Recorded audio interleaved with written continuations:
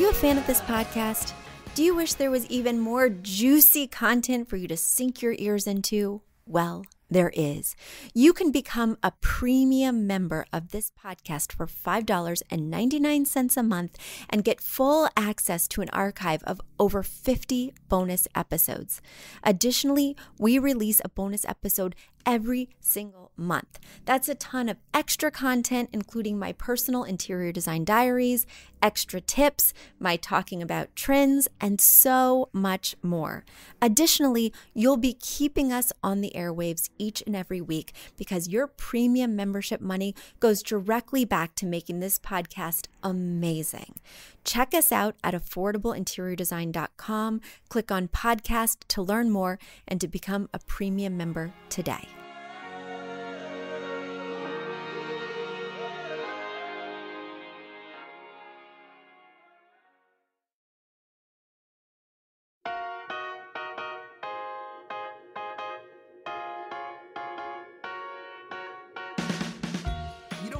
High end designer or a lot of money to get a luxe look. Be your own interior designer. This is Affordable Interior Design, the podcast. Here's your host, Betsy Helmuth. Hi, guys. It is great to be with you once again this week. I hope things are going well.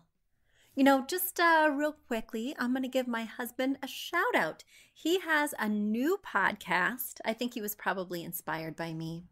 But he has a new podcast called Questionable Material. He and his friend Brian Sack record it once a week. And if you like humor, well, this could be the podcast for you. So they're not going to talk about furniture or paint or any of that amazing stuff, but they talk about politics, pop culture. It's very funny. And tune in if you uh, just want to hear more from my family. Once again, that is Questionable Material by Jack Helmuth and Brian Sack. All right, without further ado, I'm not going to plug anything else. I'm just going to hop right into your questions. The first question is from Irina. Irina writes Hi, Betsy. I've been thinking about remodeling my bedroom and I thought about your podcast. Over the last few years, you've been very helpful, so I would love to hear your advice. I sure need help. This is my bedroom. We haven't done much to it since we moved in. I plan to paint the walls to a grayish blue and buy new bed with new nightstands. The ceiling is eight feet high. We have a king size bed, and the new bed is going to be king size as well. We love having space when we sleep. But as you can tell, there is not much space in the room for anything else. There's a double closet on the left and two doors on the other side. My question is Would a large headboard make the bed look too large for this space? I always thought large headboards look nice. For an 8 feet ceiling, do you recommend either an art piece or a headboard or both? I would like to stay away from art, but then I don't have an inspiration piece and I'm afraid a headboard cannot serve as one since typically they're neutral or just one color. All right, well, you have lots of other questions, so let me answer that one first, Irina. First of all, all beds, whether you're in a super tiny room or a super big room, all beds need a headboard. Without a headboard, when it's just a mattress on a frame, well, it looks dormtastic. It looks really transient. It does not look chic at all. I don't want your pillows leaning on your wall. Certainly, I don't want them falling behind the bed. A headboard is essential. All you need for a headboard is three inches. You can have a headboard that attaches onto the metal bed frame. Those run you less than $150. You can, of course, have a complete bed that has a headboard with a frame. Oftentimes, those do add about six inches to the square footage of the footprint, right? But it's essential. I don't care how small your bedroom is. You must, must, must have a headboard. Sometimes people even have headboards because their room is so small or due to other restrictions that attach to the wall and don't even attach to the bed. And that is, while not totally desirable, okay with me. Eight foot ceilings are standard, so there's nothing really restrictive about that. The only thing you wouldn't be able to do because you have eight foot ceilings is do any kind of chandelier. In order to have any kind of fixture that drops from the ceiling, that hangs down, that's not a flush mount, in other words, you'll need at least nine feet. But don't feel restricted by the height. Now, I typically do put a piece of artwork above the headboard when the headboard is a standard height. A standard height headboard is around 45 inches. Something like 65 starts to be kind of a significant height, and anything over 65 is really high, and you probably will not need an art piece above that at all. Even at 65, I would recommend an art piece that's pretty low, like 24 inches or less, because you don't want that art practically touching the ceiling. And you want between four and seven inches between the headboard and the bottom of the art. Typically, above a king size bed that has a standard height headboard of 45 inches or so, I would do a horizontal piece of art that's 30 by 40 inches. That goes really well with my ratio of having it be 50 to 75% of the piece that it's above, the width of the art that is. And it's just a really good ratio. It's a good look. It doesn't get too close to the ceiling. That's my general advice. Now, guys, if you hear me stumbling and bumbling a bit, it is because I am recovering from food poisoning. I'm one day out. I'm barely hanging on. I've got a bottle of water over here, trying to stay hydrated and keep it together. But I couldn't go a week without giving you an episode. So here I am, straight from the toilet bowl to you. Was that TMI? See, I'm a couple screws loose after not eating for a day and a half. All right, let me get to your next question. You mentioned the inspiration piece. Yes, well, typically a headboard does not count as an inspiration piece because, as you referenced, typically they are neutral or a solid color. However, you don't have to rely on artwork for your inspiration piece. I see that you have room for a nice large area rug. I see that you have windows that accommodate drapes.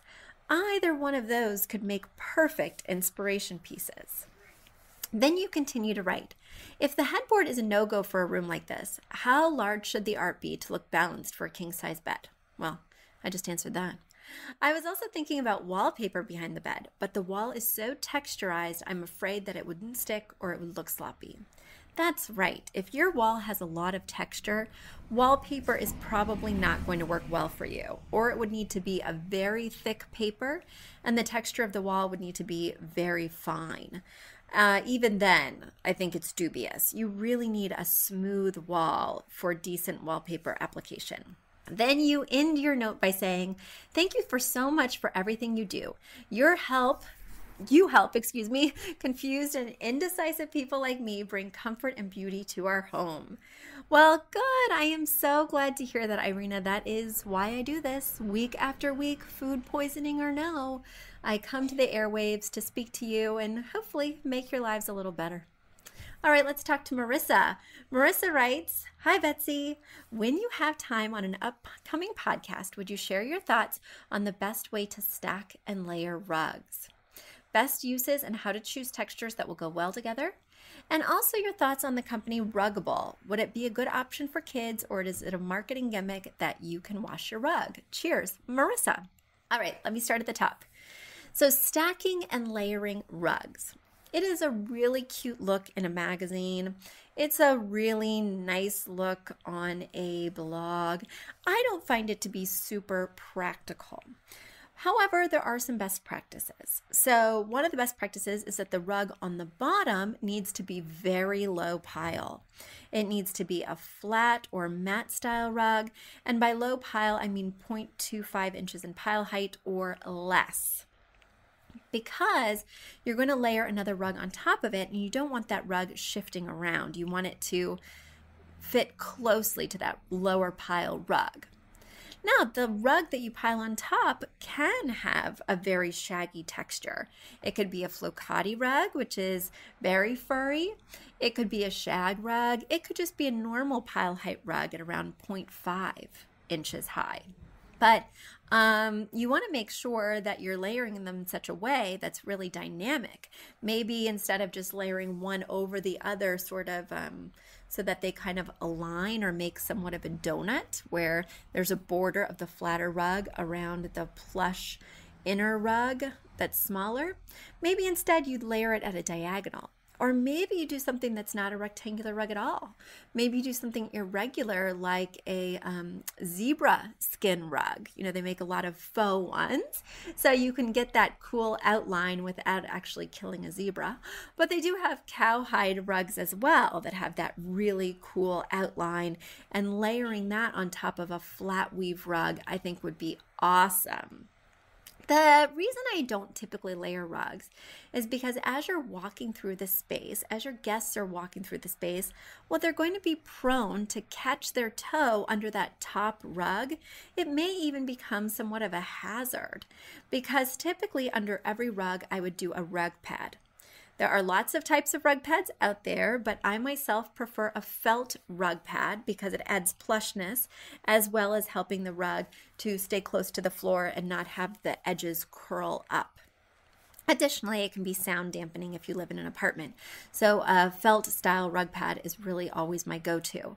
But of course, you'll have that felt style rug pad under that low profile rug on the bottom, but you can't do it under the second rug on the top.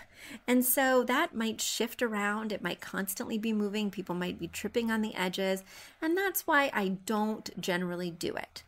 Sure, you could tape the edges down with rug tape or something like that so that they adhere to the rug below, but that sounds like a lot of work. Anyway, uh, the next question you ask is about the company Ruggable. So, Ruggable is a relatively new company that sells very flat style rugs that can go in your washing machine. Even large rugs, which was kind of shocking to me. So, I did do some research on the website because the idea of a rug that you can wash in a washing machine is so compelling, especially because many of my clients have kids or pets or are a little bit spill prone like me. And it just sounds like such a good idea. That being said, when I look at the reviews online, they are not good. So, I last time I checked, which is about 2 months ago, I discovered that people are complaining that the patterns fade after the first washing, that the texture doesn't look quite right. I myself have not had firsthand experience with Ruggable, and as I mentioned, I'm super intrigued. But buyer beware, I'm not going to recommend these for my clients or certainly buy one for myself until those reviews improve. There we go, Marissa. All right, let me get to my next question. This listener writes Hi, Betsy. I just downloaded your book to my Kindle. I'm designing a house from scratch that will be built in early 2021 to my desires. And besides designing the layout, I'm also thinking about the interior.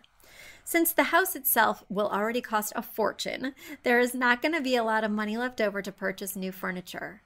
In terms of styling a home, I've always felt that I can't do it right and didn't know why. Your book and podcast, I'm at episode 92, are very helpful so far. I do have some questions though. I'm already struggling with determining my style. When I look at different pictures of styles, I cannot tell which one is which. They seem to overlap in certain areas. When I'm looking at pictures of different styles, I'm rather drawn to dark rooms with strong colors, but I do love rustic elements as well as bling and plush pieces. I'm pretty positive these could go well together. I'm just not sure what to call it. Glamorous industrial, maybe? All right, so you have lots more questions to go, but I'm going to stop you right here because you may be listening to the podcast. You may have the book, but you are not taking in these lessons because if you were, you would know that glamorous industrial is not okay. I'm going to want you to use my two word phrase method, which you can read about in the book and you'll hear me talk about a little bit on this podcast. I want your ears to perk up when I do because you may not have two styles in one room. You can only have one style per room. And so, my two word phrase method one word is that style word, the second word is how you want to feel in the space. And then for those of you who really deeply listen, and maybe for those of you in my academy, well, you know that there's actually a third word I always add to the end of that, which is sophisticated.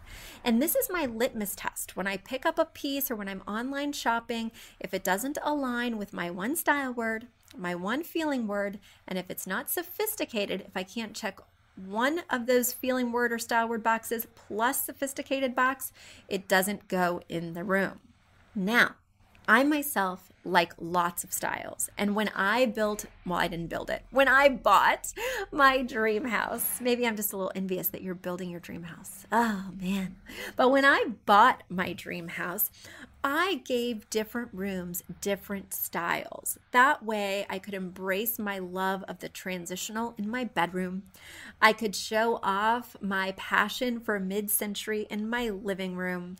That way, I could really pivot like I want to, right? And that's going to be my recommendation for you because glam industrial is not going to work out.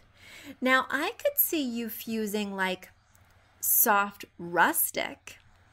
I think that would be a great uh, two word phrase because soft is how you want it to feel. Maybe everything should feel comfortable, like a soothing, cozy sanctuary. But rustic will give you some of those elements that you're kind of lumping in with industrial that live edge wood, the unfinished metals that kind of have an aged patina. I think that might be the way to go. In fact, I have, I think I had called it soft rustic or something like that in my book. So look for it because it's one of the examples I gave. And we did like this really furry plush pillow right next to an oil rub bronze, very industrial in table.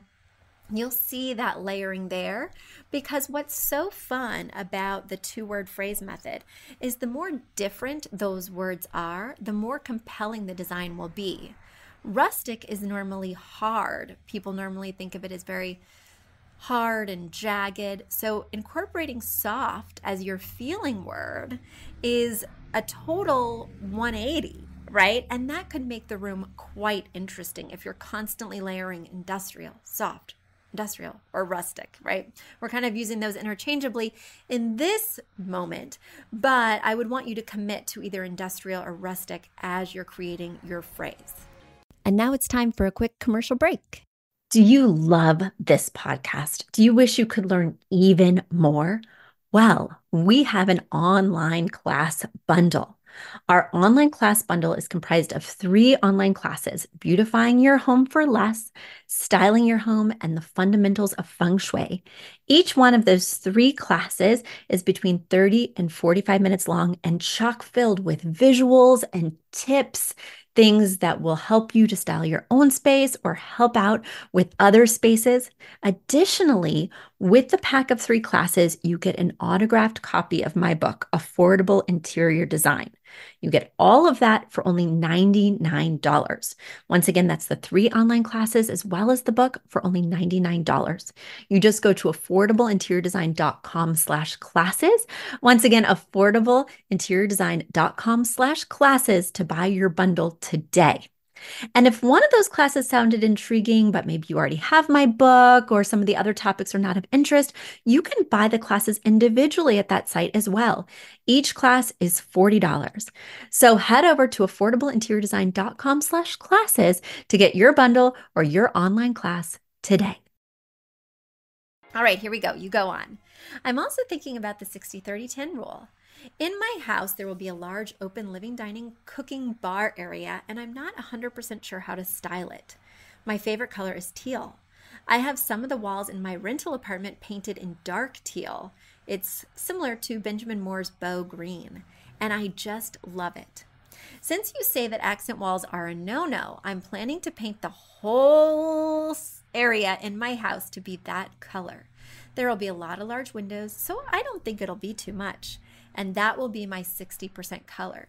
The kitchen will be matte black, IKEA's Kungsbacka, and I want to make it look like a modern saloon. I have this nude, low key photograph of me wearing just a, fo- a cowboy hat. Hello. Hello. Which is printed on brushed aluminum and copper tones. Plus, I have a lot of accessories like horse memorabilia, etc. And I really think that a golden floor, not bright gold, but more of a muted bronze, would look awesome. I'm planning to add more of that matte black in terms of a metal to showcase and metal bookshelves. So this black, is it a neutral or does it count as a color? Okay, first of all, let me just say, Tanya, Tanya, you have got a lot of look going on here. I love that you're going bold and using that nude photograph of you. It sounds like you're putting it in a very public space, which is a kitchen. Of course, it's your kitchen, so you decide who you invite in there, but hello. Um, I love this really extreme look, not just the nude photo but also the teal wall color, the black cabinets. But you want to be careful that it does not become a theme room. Because what I'm hearing, especially when you started throwing around that word saloon, is that this could easily become a theme room and even if it ticks off that feeling word and that style word, it's not going to tick off that sophisticated word. And it's not going to inspire your guests, maybe even yourself, to say, wow, this looks so designerly. Instead, it may start to look over the top, especially when you added that golden floor. I mean, I'm glad that this is a podcast and not yet my affordable interior design TV, which is coming next month, because you can't see right now that my eyes are bulging out of my head trying to envision gold floors, jewel toned teal walls, a nude photograph of you in a, in a cowboy hat, and saloon doors or saloon memorabilia with horses. Wow. Oh, wow. It's a lot of look.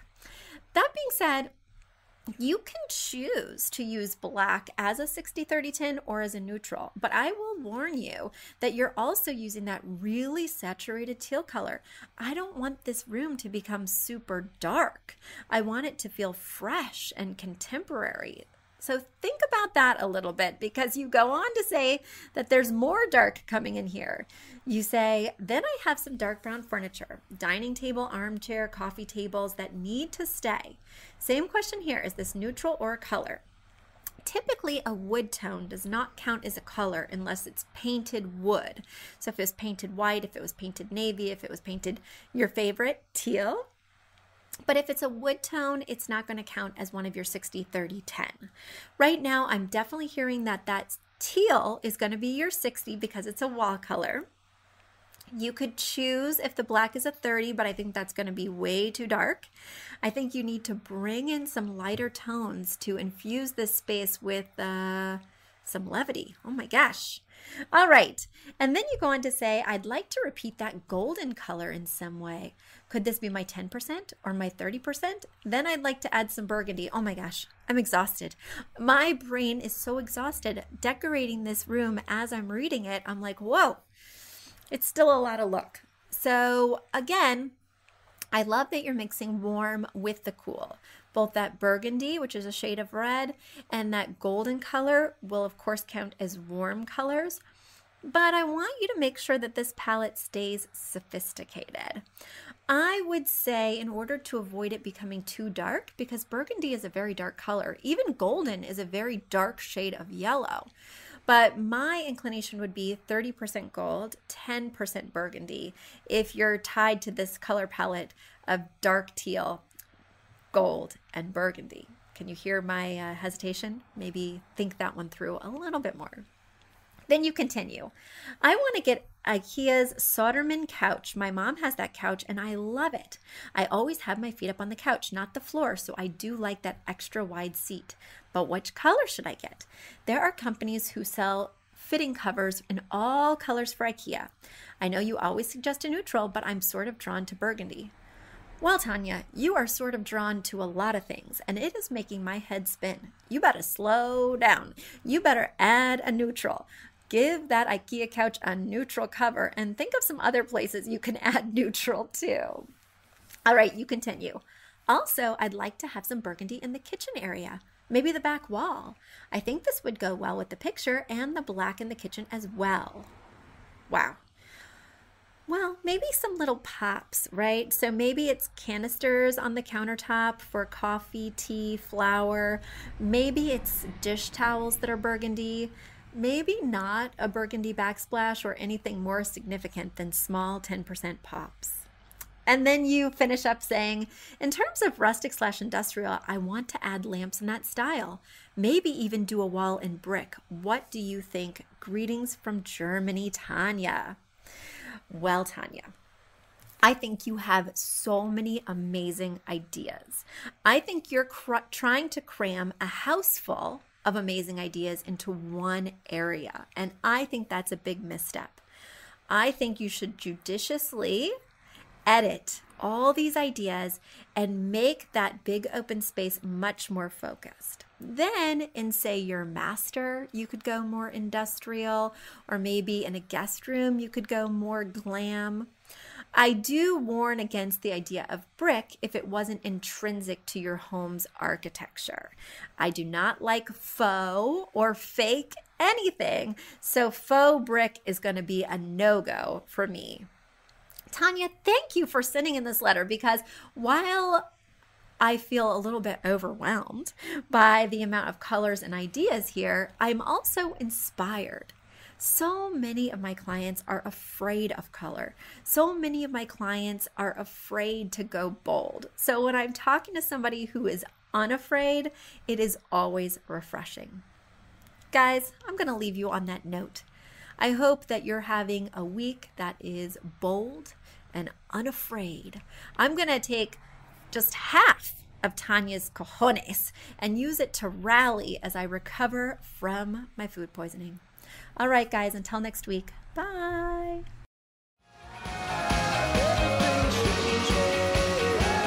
You've asked for it, and we have answered the call. For years, you've been saying, Betsy, you're talking about all these great design concepts, but we can't visualize them.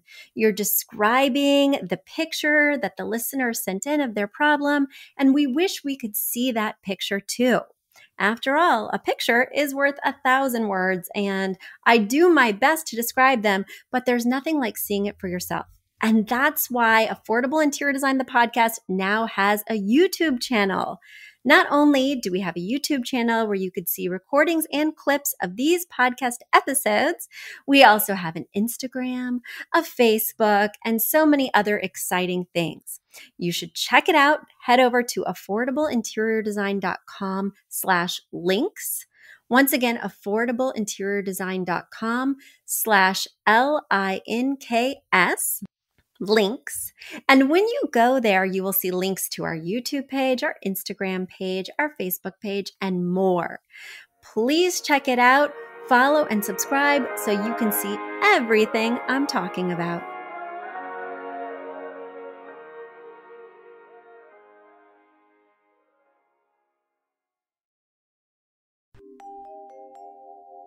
A big thank you to our amazing producer, Katherine Heller to Aton and the MVCR House Band, and to Affordable Interior Design, the sponsor of this podcast and the premier place to get an amazing look on a budget. Check out affordableinteriordesign.com. If you guys love the show, the very best way to support us is by spreading the word. Tell your friends or write us an awesome review on iTunes. So until next week, guys, thanks so much for joining us, and I'll talk to you soon. Bye.